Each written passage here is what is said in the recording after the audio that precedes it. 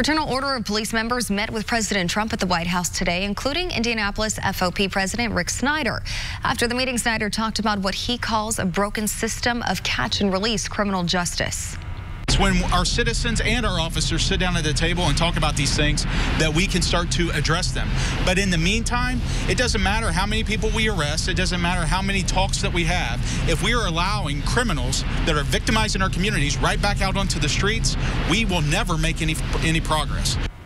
Snyder tweeted that he is grateful for the opportunity to meet with the president to discuss the surging violence in Indianapolis.